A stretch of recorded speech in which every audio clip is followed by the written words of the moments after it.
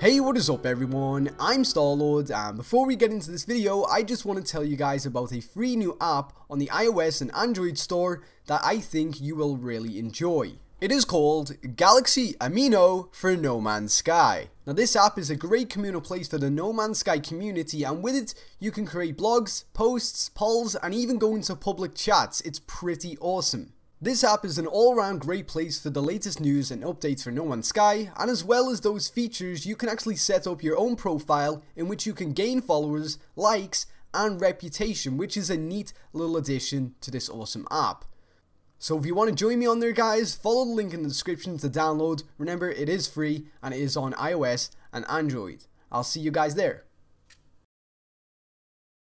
Okay everybody, so today I'm going to be showing off a couple of mods that I have on No Man's Sky. So as you can see right here, I have nothing in my exosuit or my starship and I do have unlimited units. Yes, I did mod unlimited units using a very simple and easy to use mod tool. But I'm going to show you off a couple of awesome things that you can also do with this mod cheat tool. Activated. So there you go, I've just activated one cheat and let me just activate another cheat right activated. now. So there you go. So I have two cheats activated right now and one of them is the cooldown of my weapon never pops up, you know? So as you can see right now, it should have made me cool down my weapon, but I'm still shooting. Look at that. And that is literally how simple it is. So let me just activate another one. And um, what I'm going to do is, sooner or later, these robots... Okay, there you go. The robots are here now. And uh, we're going to have to shoot them. But, you know, you're not going to have unlimited ammunition forever. So we do need to activate another mod, in which can actually give us 99999 ammunition. So, let's try that in a second after we've nearly killed them. Let's try right now. Let's see... There you go. And, okay, there is, it's actually activated on the screen right there. If you look in the top right hand corner, I have 998 ammunition. And, um, but of course, we still have the reloading. Nobody wants to reload, so let's, um, let's activate another cheat. There you go, and if you can look in the top right hand corner there, I have unlimited ammunition guys and that is literally how simple it is and do not worry I am not online doing this and it will not affect anybody I'm completely offline so again I'm going to show you something pretty cool. So here are the resources that I've just gathered. I have a 152 iron 60 and you know basically not full but I'm going to activate a cheat in a second that will fill them cheat all automatically. activated. and there is right there. Automatically 250 of each item in my inventory which is you know the plutonium the iron and the titanium. Let's move on to the next cheat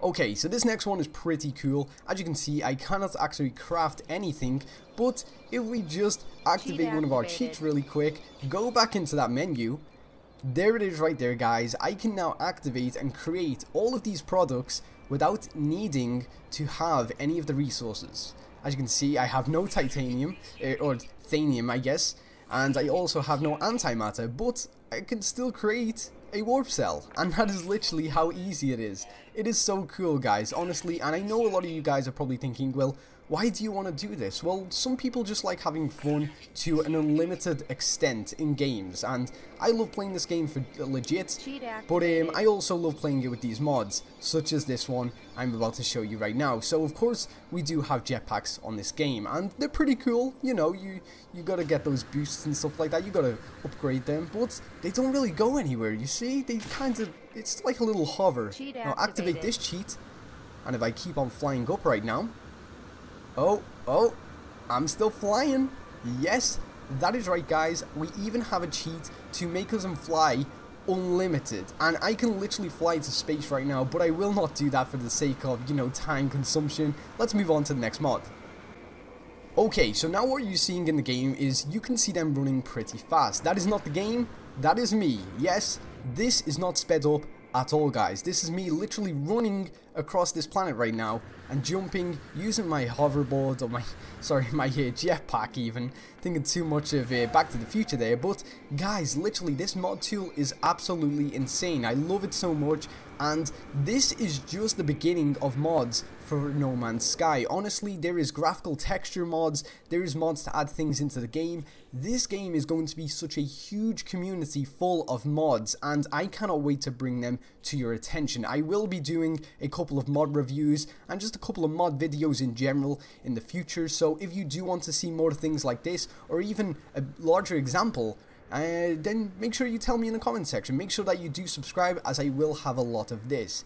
Anyway guys, Thank you very much for watching. If you are interested in this mod tool, the link will be in the description to go to the website in which you can find all of the mods. If you see any mods you would like me to review on there, please leave a comment and I will do so. And until next time guys, I've been Starlord. I'll uh, see ya! Friend from Fallout 3 showing up in the new Nuka World DLC. Now firstly, let me just say guys that this is pure spec